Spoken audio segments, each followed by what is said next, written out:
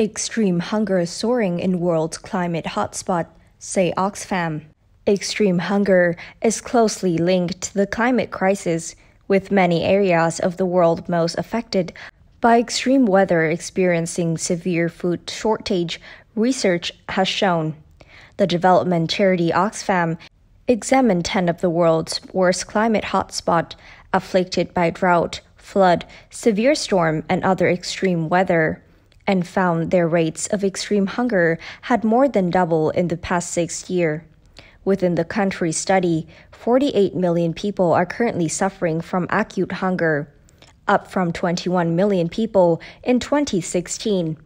Of these, about 18 million people are on the brink of starvation, according to the Oxfam report published on Thursday.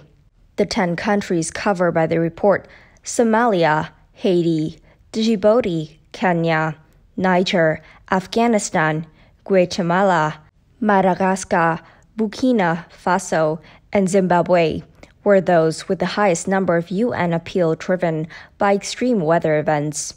Gabriela Bucher, executive director of Oxfam International, said climate change is no longer a ticking time bomb. It is exploding in front of us. It is making extreme weather, such as drought, cyclones, and flood, which have increased fivefold over the past 50 years, more frequent and more deadly. As global heating gathers pace, fossil fuel companies have been reaping bumper profit from the soaring price of gas.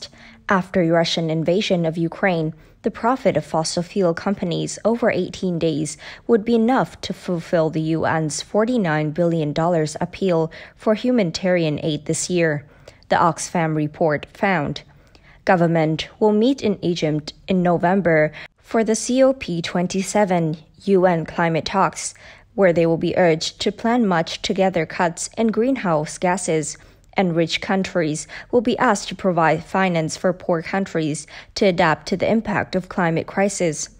However, many leading figures are glooming on the dim prospect for talks. Geopolitical upheaval due to the war in Ukraine have imperiled the fragile coalition brought together at COP26 in Glasgow last November, where all countries agree to focus on limiting global heat to 1.5 Celsius above pre industrial level. Bucher said leaders of rich polluting countries must live up to their promise to cut emission. They must pay for adaptations measure and loss and damage in low income countries, as well as immediately inject life saving fund to meet the UN appeal to respond to the most impacted countries.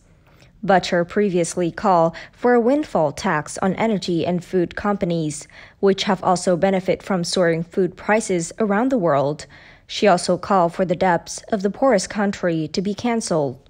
Among the country highlighted in Oxfam report, most are severely afflicted by droughts, many of them in Africa. Somalia is experiencing its worst drought on record, and 1 million people have been forced to flee, while in Kenya, 2.5 million livestock have died and 2.4 million people are going hungry.